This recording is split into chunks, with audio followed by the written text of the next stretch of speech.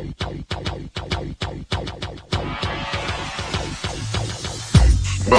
to the Odds Breakers, number one place for shared sharp betting information.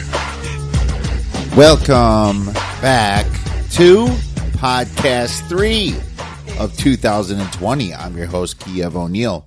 You can tweet me at OBKiev, tweet us at The Odds Breakers, or follow us on social media slash The Odds Breakers. This episode is being brought to you by jazzsports.ag for a 50% sign up bonus.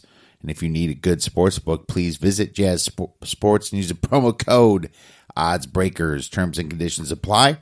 If you'd like to help us out with our costs, sponsor the podcast, we would love to help you out. Please visit theoddsbreakers.com, click shop, and become a member. For $17.99 a month, you can become a premium subscriber and get my plays and premium plays before the line moves. For $2 more, you can have all that and become a patron subscriber. Get the podcast a little bit early. Let's check out the website and click shop for that as well. And if nothing else, please visit theoddsbreakers.com and become a free picks newsletter subscriber. So, wanted to do a quick podcast here. Like I said, they're they're not always just going to be once a week. We're still going to do our Thursday pod with a guest, come up with some plays for you for college basketball this weekend. And we actually had a pretty good weekend. Saturday wasn't quite as good. I believe we were um four and five on Saturday, but but Friday we were one and zero, and Sunday we were two and zero in college basketball. This is all college basketball, and so we ended up seven and five. Uh, the whole weekend, so that worked out. A little bit of profit there in basketball. You know, it's funny how the free plays, minus the Clem, uh, uh, NC State one, uh, worked out really well. Uh, the Duke uh, over hit by a lot. That was easy. Penn State hit. That was fantastic. My Florida play hit.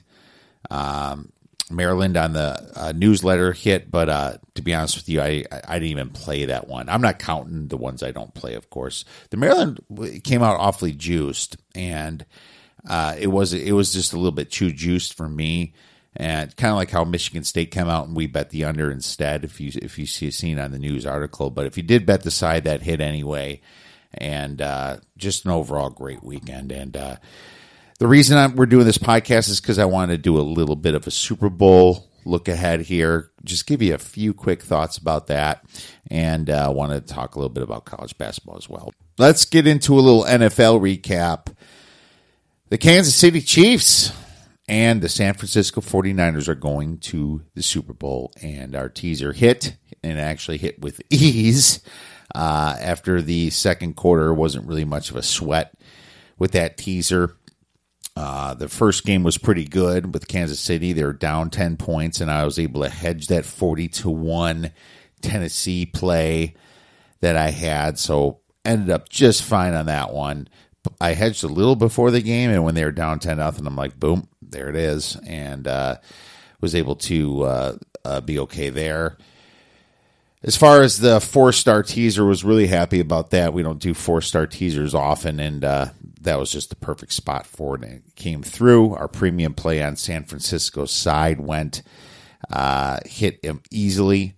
Now, the one that didn't hit was that Kansas City. Uh, Patrick Mahomes has the most passing yards, minus 140. And uh, yeah, but Aaron, Rodgers actually messed that one up for us. And the reason that is, is because they were passing the whole second half. and uh, I mean, if they didn't start so behind, 27 to zip in the second half, I, I, thought that thing had a chance. And then Davante Adams wide freaking open and uh, kind of ruined those little things. But overall, if you take uh, you know the amount of units on this the uh, teaser in this in the side for San Fran, it was a great weekend for the NFL for us. Very profitable. So very happy about all that.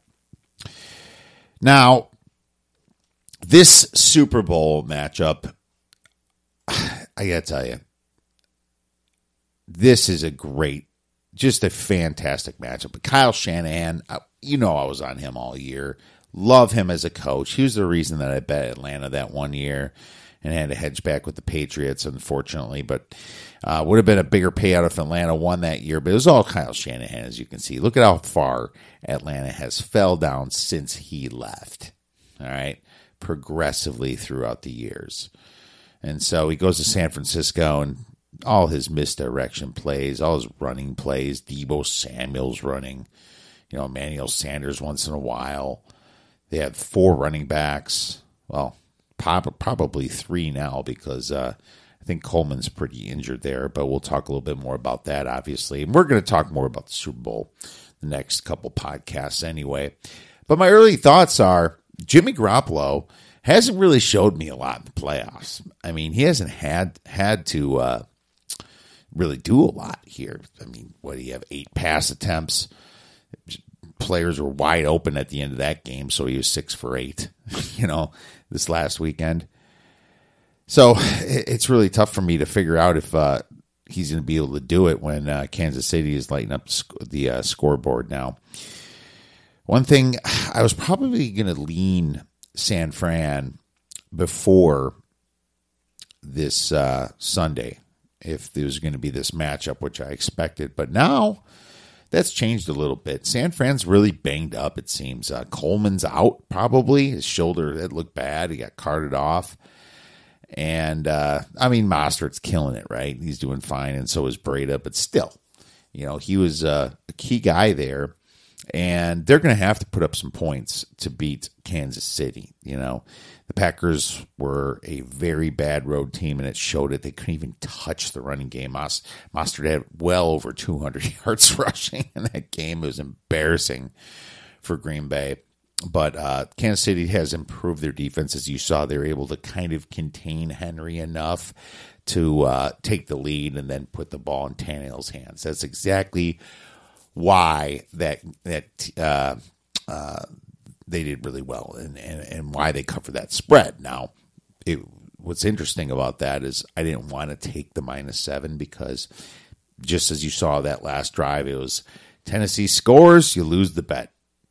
And you still, Kansas City still wins the game. Kansas City might have given up a score, you know, just let that back. But instead, uh, Tennessee couldn't score and they ended up winning the game by 11.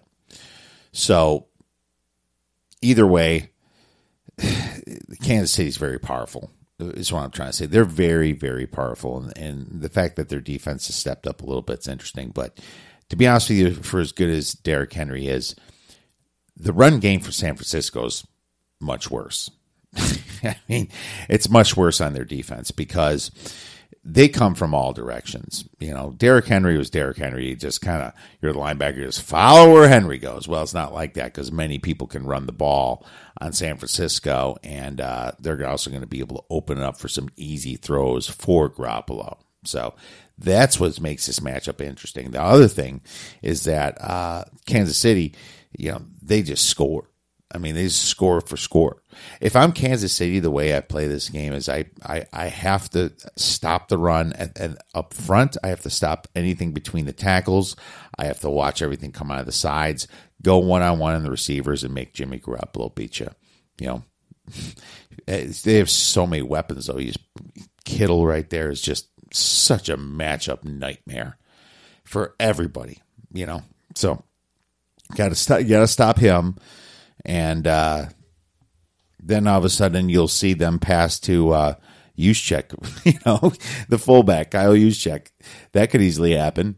Deebo Samuel is going to be open. Emmanuel Sanders is going to be open. Pettis will be hanging out. Kendrick Bourne might get even a pass or two. So, yeah, nothing easy. Um, it's not going to be easy feat. But the thing is, is uh, Kansas City is going to go score for score with them most likely.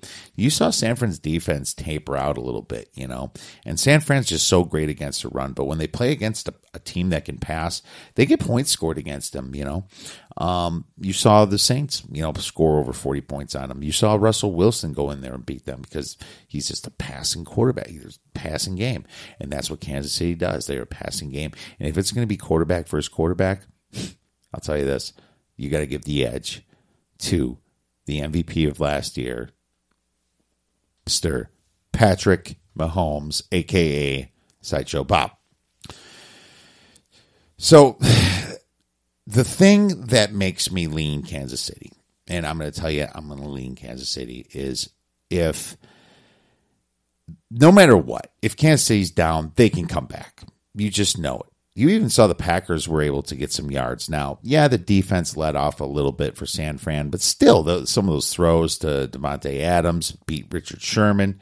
You know, some of those show, throws to uh, Allison was there. A lot of those throws to Jimmy Graham and their uh, third receiver, Savage or something like that, is escaping, escaping my mind. But uh, either way, Kansas City is going to be able to do that against San Fran's defense. So if the Niners are down by 10 points in the third quarter or 14 points, I don't know how they're going to come back. They're not going to be wanting to run the ball. And maybe maybe it, it's going to be all up to Kyle Shanahan. It, maybe he just has enough awesome plays, misdirection plays, key pass plays, maybe hypes up Jimmy Garoppolo just enough to do that. But I want to pay to see that. And so I'll probably have a little bit of money on Kansas City at the minus one. But I'll tell you this if that goes up past minus three, that's possibly a buyback right there for San Fran. Now, if you look at it from straight power ratings, um, I, I have them just about equal. And I'm going to go, I didn't make my complete adjustments yet, so I'm going to go over that. So right now, I would have a small play on Kansas City. I think the spread can go up to three. So I would, if, if you like Kansas City or if you just want some line value, I would recommend getting that one a little bit early. All right, we had some listener questions I'd like to talk about on the podcast. I know um, a lot of those I just answer via Twitter or just via the message when you guys send me a message, but we'll do a couple of these on the podcast now as well. And if you have any questions out there, I'd love to hear it. Come just tweet us at theoddsbreakers.com, tweet me at obkiev, whatever you want. Uh, we I could uh, definitely try to answer those to the best of my knowledge. So the first question was for at four Cooper. It's about teasing college hoops. Okay. So he asked if I do it. And in general, the answer is no. I really don't tease them too often. Now, maybe during March Madness, I might every once in a while.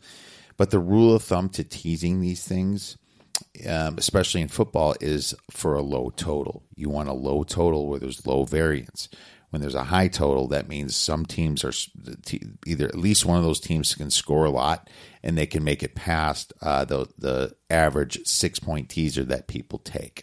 Okay, so um, as you as you can see with Duke, right? Duke uh, just played Louisville. Duke was an eight point favorite. Duke lost the game outright. Anyone who teased Duke at home at Cameron Indoor, which you'd think they would win, lost that bet uh, college basketball in general is very high variance. You know, you just don't know when one team's going to be hot, and you just do not know when one team is unfortunately not going to be hot. So, uh, uh, just wanted to let you know that I don't do that now on a Virginia versus, uh, let's just say Texas Tech type game where your where your total is going to be about 113, or maybe like Manhattan versus uh, Fairfield, yeah, you know, you're going to get a total of something extremely low, you know, maybe like 105 points or something. That that then maybe tease it, but uh, I personally don't. I think college basketball just has way too much variance. The only sport I really tease is the NFL. Uh, don't even tease college football, but to to each their own. I mean, there's people that have success doing it. Some people might do a three team ten point teaser. I'd probably be more prone to do a three team ten point teaser than a um, two team six point teaser or seven point teaser in college basketball. The next question comes from Tanner. He asked us if we could talk a little bit about bankroll management, some of the some of the best practices with adjusting the unit amount after success or loss. So, I have a huge article on uh, Sports Betting 101. I talk a lot about bankroll management, how you should be betting 1% for one star or one unit of your total bankroll. So, for example, if you start with $10,000, your bet, your smallest bet, should well not um, you can go half unit I guess, but your one star bet is one hundred dollars. Okay, so if so, if you give out a two star bet or talk about a two star bet, that bet is two hundred dollars. If it's a five star bet, which is, should be the max, that's five hundred dollars. And so um, that's very important because there's a lot of ebbs and flows to sports betting. So, um, you know, he, he may have already known that, but he, his question was, should I adjust the unit amount after each day? And my answer is no, definitely not. Keep the same unit amount throughout the whole season of the sport you are betting. You can reassess later in the next season or the next sport you decide to start with. You can start with a higher bankroll if you want, but uh, there's no reason to adjust the unit size in the middle of the season. Keep that in the way because I'll tell you this. I think this happened to me years ago start went on a hell of a hot streak and i think it was in college football and then i had like two or three bad weeks in a row and i happened to up my unit size and i lost it all and even went down into my bankroll a bit and that was very painful. That's the stuff that can happen when you start playing with the karma of betting uh, the sports betting world, really, betting sports in general. So, in my opinion, you should not adjust. Do what you're doing this the whole year. Now, the exception, I guess, would be is let's just say you started with ten thousand and you're up to fifteen thousand, and uh, you want to you, you really have a good feel for the rest of the year. You want to adjust your unit size. Well, then one percent of fifteen thousand is one hundred fifty dollars. So, I mean, at the worst, just do that. I personally wouldn't, but you can absolutely do that as, as long as one unit is 1% of your bankroll. Now, if you're losing and you're really losing and you're kind of down to 50% of where you started, then I would be okay with decreasing your unit size because something is going wrong. Okay. Now, hopefully that would never happen to you, but uh, I'm sure that's happened to many people.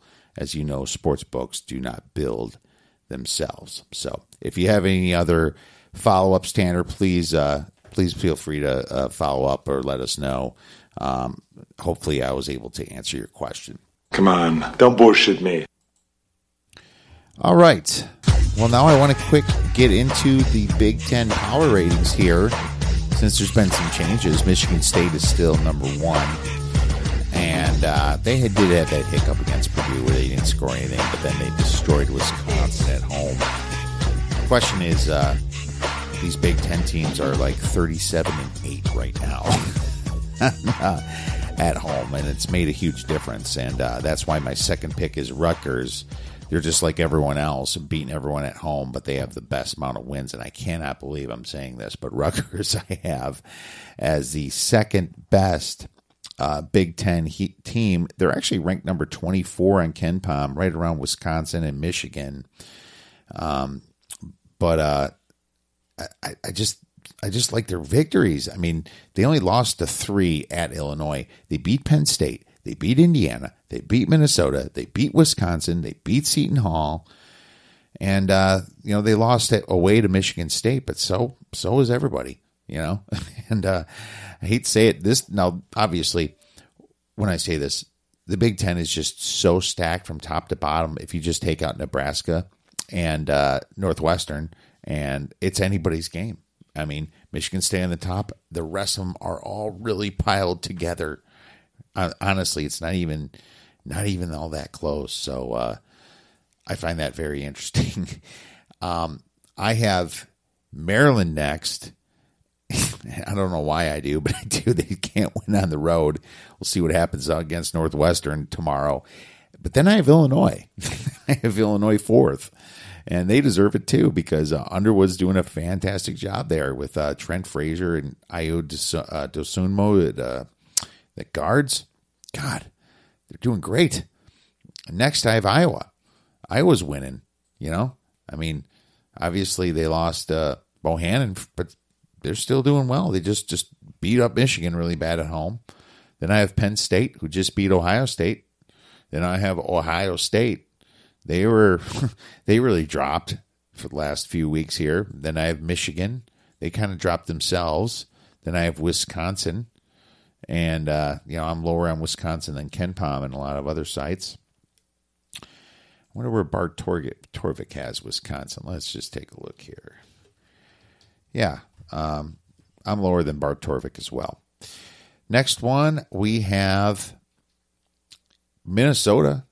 I mean, they're starting to win some pretty big games at home, you know? Oturu's a beast down there. Eric Curry, you know? Marcus Carr over there. We have Indiana. Indiana's uh, not doing so well. you know, they've uh, they just finally beat uh, Northwestern. So, or no, that was Nebraska. Well, good for Indiana there. But now they get to play Michigan State. We'll see what happens. Michigan State is traveling there. So that's going to be a real interesting game coming up here on Thursday. The next team we have is Purdue. Purdue, whew, hot and cold. It's just it's hot and cold this year. We have Nebraska, and then we have Northwestern. And uh, to be honest with you, Nebraska could be better because their kids are so young and they're playing a little bit better. And hell, Northwestern played pretty well at Illinois, only lost by like four points. So, got to give some props to Northwestern for for fighting really hard there. It's kind of a rivalry game. You kind of expect that. I should have been on Northwestern, but we do have a play for you for our Tuesday two pack article, and I'm just going to give this one out over the podcast. We're going to look to the Big Ten here. We have Illinois versus Purdue, and Purdue's going to be laying about six or seven points. The over under is 132. Now, you know that the Big Ten is just so good at home 37 and 8 is a record straight up, but this is one spot I'm going to go against it. I know, I know, not smart, but uh, Illinois is fantastic, and they're going to be dancing this year. As a matter of fact, we gave out Illinois at 250 to 1 to win the NCAA tournament. Well, now, now they're 50 to 1. Okay, so some good value on that. And uh, they have huge wins against Michigan, Purdue, Wisconsin, and Rutgers, you know. And they took Maryland to the wire in Baltimore. In Baltimore, I saw that game. They seem to be a pretty good road team here. Purdue, they're a shell of themselves, you know, without Carson Edwards. Know, I mean, they have a few players there, but uh, you know, they just either get their asses kicked or they kick ass. It's just if they're hitting. Now, obviously, they're a lot more dangerous at home, but uh, Illinois is dangerous on the road because they match up well too. They have a seven footer in Kofi Cockburn. Okay, uh, Cockburn's going to match up pretty well to uh, Matt Haarms. Haarms seven three. Now, Trevion Williams is a tough matchup, and he's been playing a lot better lately. But uh, Bezhanishvili, Georgie from the country of Austria and Georgia, is going to come down and stop him. Well, we'll see. you know, Illinois, I think they have better guard play than Purdue. You know, I love Frazier. I love Dosunmu, just like I said earlier. And uh, I just, I just think that this is the kind of game that Illinois has circled, and they already beat someone on the road, and that was Wisconsin. They seem to play pretty well on the road. Now, throw away the Michigan State game, but uh, you know they took Maryland to the wire too, only losing fifty nine to fifty eight in Maryland. So Purdue is good; they're very good, but they can be vulnerable at home. I know they blew out Michigan State, but they when Minnesota played them at home that game went to double overtime, and I think these six or seven points is way too much. Like I said, I got I got uh, uh, Illinois is a much better team than Purdue. I think Illinois can win this outright. So I'm going to be taking the spread here, and I'm also going to be sprinkling the money line because I honestly think that uh, Illinois is going to win this game. Very possible, and uh, we'll just see it. We'll, Wednesday, we'll see if this comes out. This is my free play Illinois plus six and the sprinkle. Last week, fucked around and got a triple double. All right. Well, that's just our short podcast to talk a little bit about the Super Bowl and a game for you on Tuesday. If you have any questions, please tweet us at the Oddsbreakers. We'll be back for Thursday night, Friday morning for your weekend plays. Have a great rest of your week. Go get some winners.